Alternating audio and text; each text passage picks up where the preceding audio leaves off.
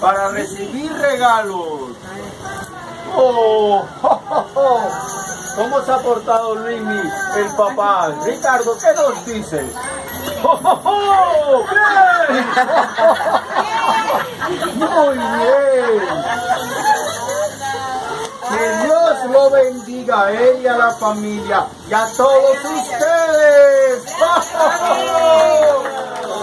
El niño Dios me encomienda a mí para traer los regalos a los niños que se han portado bien, que ayudan en su casa y que escuchan y obedecen a sus padres.